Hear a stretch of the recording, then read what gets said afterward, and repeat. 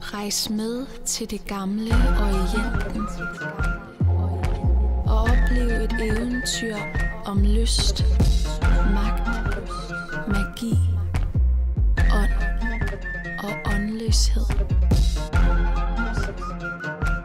Og se, hvad der sker, når hulen åbner sig.